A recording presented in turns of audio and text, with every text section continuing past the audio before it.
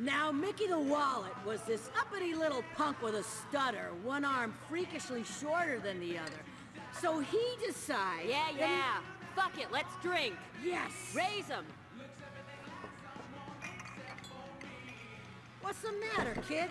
Come on, Jason, let's celebrate. You need champagne in your mouth and a couple of perky tits in your face. Forget the skanks that work for me. We're taking you to Sensation, my treat.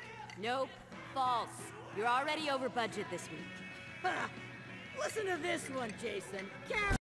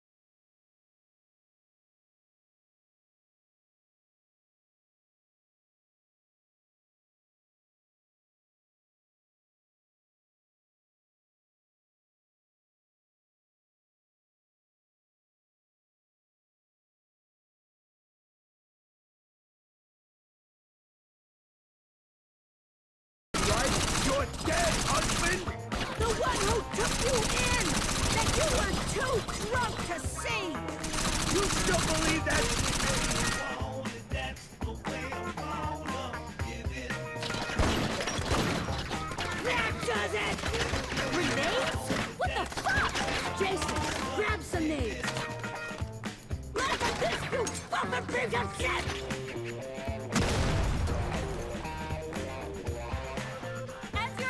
I need to remind you that this club represents significant portion of your income! As your box, I need to tell you to shut the hell up and throw!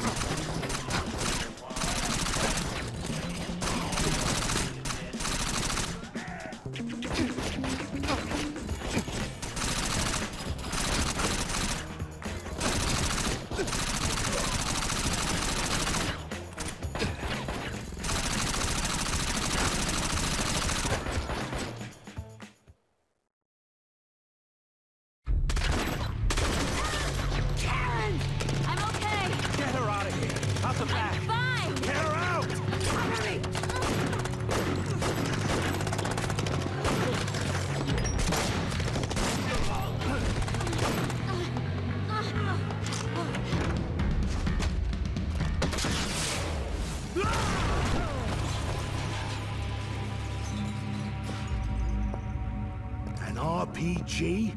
What's the matter with you, Benny? You bumped your fucking head? I need this kid in one piece. It looks fine to me. Look, see? He's moaning and stuff. Oh, good. You're right. He's okay.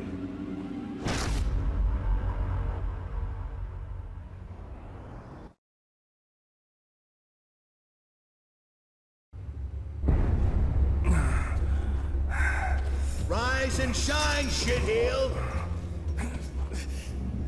I want you to know something, Jason. I am an empathetic soul. Your little thing with Vera's crew, trying to start a little revolution, a little uprising, I don't blame you. You're young and dumb. Hell, I'd be willing to let the whole thing slide if it was just you and me. Unfortunately, I do that, other guys, they might get the wrong idea. Get to thinking, what's to stop me from making a run at the throne? You know what I mean, Jason? Fuck you, Frank. What? Fuck me? Fuck you! You nowhere shit! Boys! You cost me big, Jason. So here's what's gonna happen. If you're able to walk out of here, you're gonna work for me. You're gonna work off what you cost me. You're gonna forget Vera Montello and her little buddies. In fact, so am I. As long as you be a good little shit and do what you're told, I'll leave them alone. But fall out of line. Do something I don't like, and they're all dead. And then, you're dead. I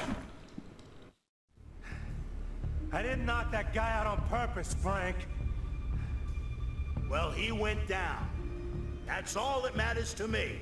Are we understanding each other? You work for me now, Jason. I own you. Expect to hear from me soon.